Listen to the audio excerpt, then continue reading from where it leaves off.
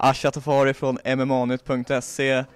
Det här är ett historiskt ögonblick i MMA-nytt historia. Vi har tillbaka Resa med Dogma Madadi här i MMA-nytt inför AK Fighting Championship 2.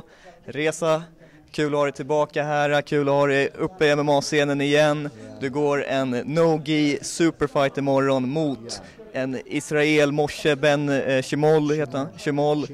Eh, och eh, det här är ju en, en eh, högst politiskt laddad fight, det är Iran mot Israel och eh, jag tänker om de som tittar här, som har hört lite grann snacket men kanske inte helt insatta, kan, kan du börja med att berätta vad det är som, som ligger bakom det här? Uh, ja, för att som människa tycker jag att uh, man ska inte blanda in politik med idrott. Ingenstans egentligen politik, religion, inget som ska spela någon stor, alltså ha betydelse egentligen. Det är din personlighet, beteende som ska spela roll. Eh, och som liten som jag har varit med olika evenemang, tävlingar. Eh, mitt första starka minne är brottnings ungdoms-EM eller junior-VM var det i Åbo, Finland 97. Eh, vi var med i svenska landslaget där. Jag tävlade inte men jag var där och skulle supporta några vänner. Det var två iranskfödda brottare i laget Eh, och så vi träffade det iranska landslaget. Men de flyttade sitt hotell på grund av israelerna bodde i samma hotell. Eh, och jag vill absolut inte blanda politik, nu pratar jag inte om politik. Eh, som privat kanske står jag för några helt andra åsikter. Eh, men som idrottsman tycker jag att jag ska bara fokusera på min motståndare och hans eh, utförande. Hamza säger att du ska nämna mig om mig också. ja, hur som helst. Så kommer jag ihåg, de flyttade sitt hotell.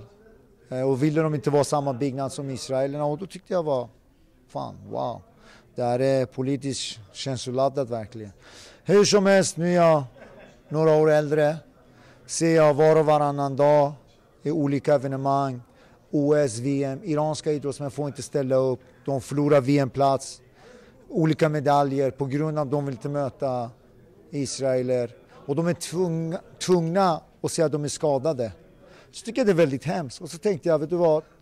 Jag kör det här, möter en Israel. Jag känner att jag tillhör inte, jag vill inte säga att jag tillhör, jag är en människa, jag tillhör inte, flaggor hit och dit, det är bara egentligen påhitt. Man borde gå efter vad människan, personen, beteendet står för. Hur som helst, så vill jag bara visa att vi kan möta varandra utanför alla gränser, religion, politik, som idrottsmän.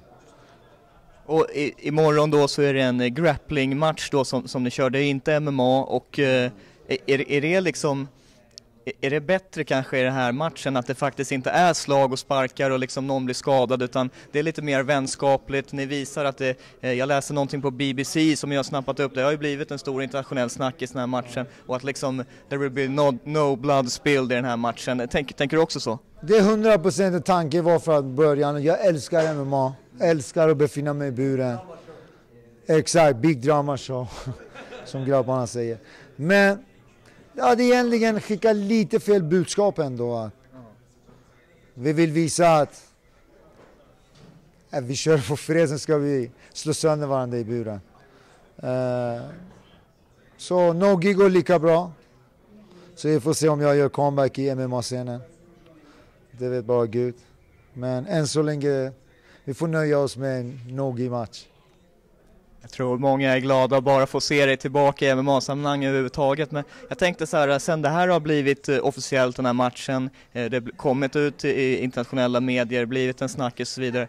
Har du fått någon backlash liksom? Alltså det är ju politiskt laddat. Har du fått någon liksom eh, någon hat, kritik e-, eller sånt eller, eller mest positiva reaktioner som du upplever?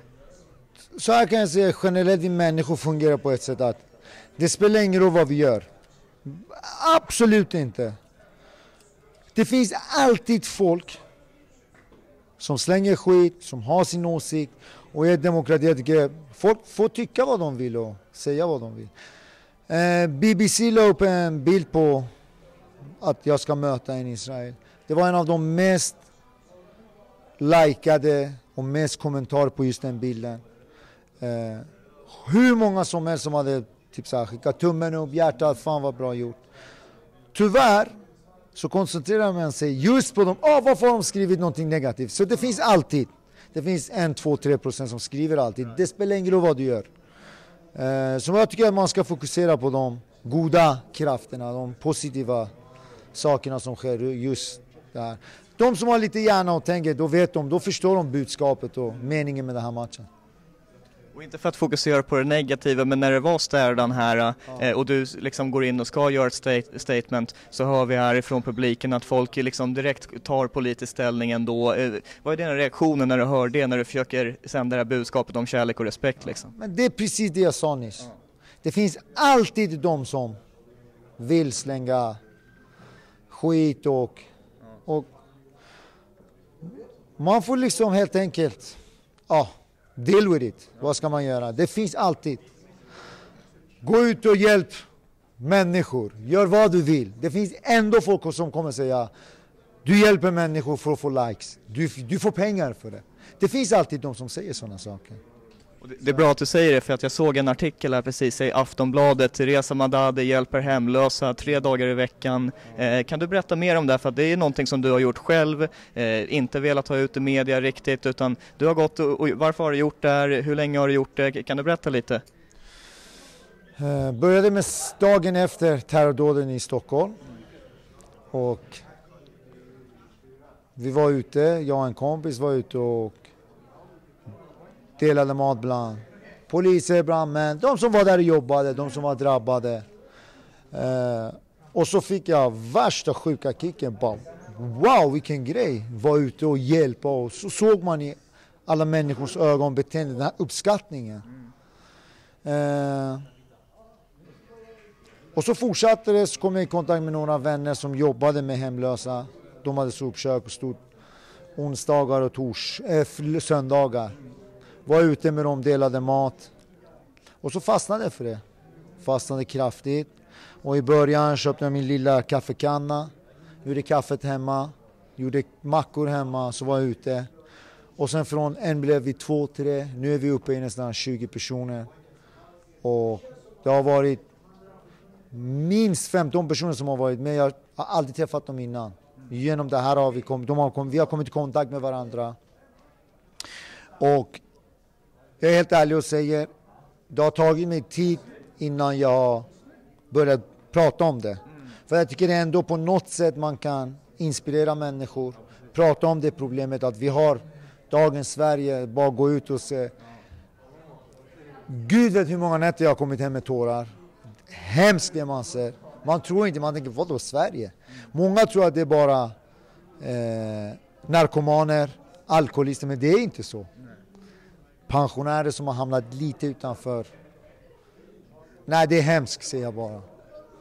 Sen, eh, det är min största stolthet i livet.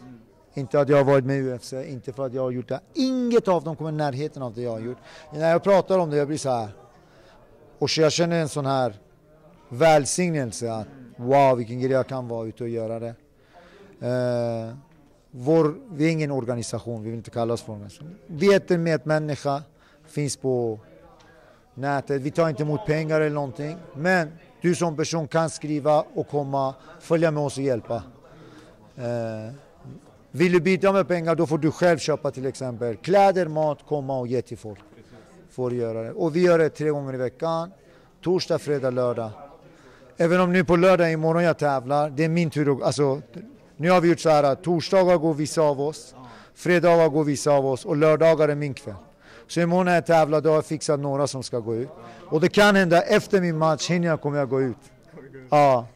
Det är ett väldigt fint initiativ det här, det, det, det tror jag många håller med om. Man, man, ser också nu när det har kommit ut lite grann i media att det är ju väldigt liksom, många och, och fina reaktioner. Eh, ja, ett ärofyllt liksom, initiativ från dig. Eh, så om vi går tillbaka till den här matchen, kör, kör lite sista. sista. En grej, sista grejen om det här. Många av oss prata om våra rättigheter. Jag har rätt till det, jag har rätt till det. Sällan jag har hört människor prata om sina skyldigheter. Så jag är inte 20 längre, 25 längre, 30 längre. Eh, och mina erfarenheter, mina misstag i livet har lärt mig att man har skyldigheter också. Så jag försöker ändå på något sätt ge tillbaks alltså till vårt samhälle Jag tycker att det känns jävligt bra måste jag säga. Så vill nog hänga med, hör av er till Medmänniska. Ni är välkomna. Medmänniskan ni hör och eh, ja, det känns verkligen som att det är en eh, vis, eh, det visa ord här från, från en liksom äldre och mer mogen Reza Madadi här. Det känns som en ny man lite grann nästan. Eh, så imorgon, sista frågan här tänkte jag liksom det, när det är den här vänskapligheten ändå som du försöker visa på mellan Israel och Iran samtidigt så är du med Dog, vi ser städan här, det är ändå det är hett liksom. Hur kommer du balansera det imorgon? Kommer du gå in all in i buren och för, försöka vinna eller, eller blir det lite mer liksom lite mer vänskapligare från med? Om det, nu när du pratar om det känner jag det, kolla, jag har gjort det här så länge, så många gånger, så jag vet skillnaden mellan att jag ska in och kriga 100% en miljard procent. För det är match. När det är match, då är det match. Men sekunden matchen är över, så finns, alltså, även om under matchen, man ska inte säga att det finns ett hat. Även om de som jag har slagits med, varenda en jag har gått match med, antingen följer vi varandra på Instagram, när vi skriver till varandra. Jag hade biff med, vad heter han, Cristiano Marcello i två år nästan. Direkt efter matchen jag kramade han, han kramade mig. Han bjöd mig till barbecue hem till sig. Eh, Norman Park. Vi hade sån jidder med varandra. När han hade match i London, jag visste att han hade fått barn. När jag åkte dit och köpte kläder till hans barn. Så många vet inte det här bakom scenen, bakom kulisserna vad som händer. Men det är klart, innan, jag är idrottsman. Jag går dit, jag är, det, jag är vinnarskalle, jag vill vinna, det spelar ingen roll. Även om det är vänskap, även om det är vänskapligt budskap, även om vi sänder att lyssna, alla människor är lika lärare. Men det, där inne, det är jag som ska vinna. Det är det som det handlar om det. Så en miljard procent. Men såklart efteråt, vi är inte mer än människor. Det är kärlek och respekt som gäller. Kärlek och respekt och det är ju den här tävlingsinstinkten som har gjort att Maddog har kommit dit och är idag. Eh, återigen Resa, det är kul att ha dig tillbaka här i MMA-sammanhang. Det är kul att ha dig tillbaka på MMA-nytt och det ska bli riktigt kul att se dig imorgon på AK Fighting Championship 2 där all information om galan finns att hitta på mmanytt.se. Stort